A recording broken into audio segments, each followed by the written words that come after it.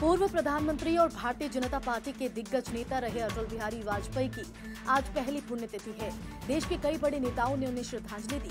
नई दिल्ली में उनके स्मृति स्थल सदैव अटल पर राष्ट्रपति रामनाथ कोविंद, प्रधानमंत्री नरेंद्र मोदी गृह मंत्री अमित शाह समेत कई बड़े नेता श्रद्धांजलि देने पहुँचे। स्वच्छ भारत के बाद प्रधानमंत्री नरेंद्र मोदी नए मिशन की तरफ़ चल पड़े हैं। स्वतंत्रता दिवस के मौके पर अपने भाषण में नरेंद्र मोदी ने सरकार के विजन को आगे बढ़ाया। इस दौरान उन्होंने कुछ ऐसे संकेत दिए, जो आने वाले दिनों में उनकी सरकार की रफ्तार और विजन को दर्शाते हैं, जिनमें सबसे खास रहे जल संकट और जनसंख्या विस्फोट आरोप चिंता।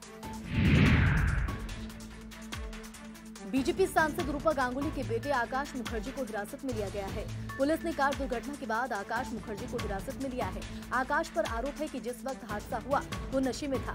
हादसे के बाद पुलिस के रुख से परेशान रूपा गांगुली ने प्रधानमंत्री नरेंद्र मोदी को एक ट्वीट भी किया है। आर्टिकल 370 को लेकर शुक्रवार को सुप्रीम कोर्ट में सुनवाई हुई।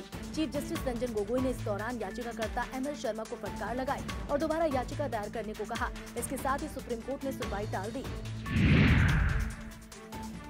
जम्मू कश्मीर से आर्टिकल 370 हटाए जाने के बाद से बौखलाए पाकिस्तान को एक बार फिर से चीन का सहारा मिल गया है। मुस्लिम राष्ट्रों समेत पूरी दुनिया ने आर्टिकल 370 के मुद्दे पर पाकिस्तान को भाग नहीं दिया, लेकिन चीन अपनी चाल चलते हुए भारत के खिलाफ पाकिस्तान के साथ खड़ा हो गया है और आर्टिकल 370 पर कश्मीर के मसले को लेकर बंद दरवाजे में यूएनएससी में बैठक होने जा रही है।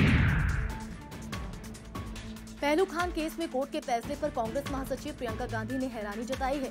प्रियंका ने कहा कि पहलू खान मामले में लोअर कोर्ट का फैसला चौंका देने वाला है। हमारे देश में अमानवीयता की कोई जगह नहीं होनी चाहिए और भीड़ की तरफ़ से हत्या का एक जगह अपराध है।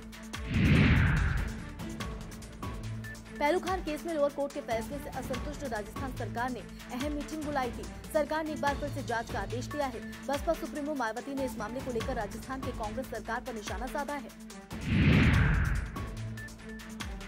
रामपुर से समाजवादी पार्टी के सांसद आज़म खान के अवैध निर्माण को जेसीबी से गिरा दिया गया। शुक्रवार को आज़म खान के रामपुर वाले हमसफर रिजॉर्ट के अवैध कब्जे वाले हिस्से को तोड़ा गया। आज़म खान ने रिजॉर्ट के लिए 1000 मीटर अवैध कब्जा किया था, जिसे दो जेसीबी और बुलडोजर से तोड़ दिया गया।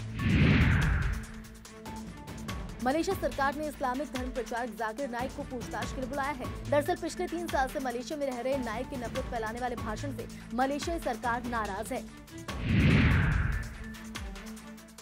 चुनाव आयोग ने वोटर कार्ड को आधार से लिंक करने की मांग की और इसके लिए आयोग ने कानून मंत्रालय को खत भी लिखा है। आयोग ने कहा कि उन्हें यह अधिकार दिया जाए कि वो वोटर आईडी कार्ड के साथ आधार लिंक कर सकें।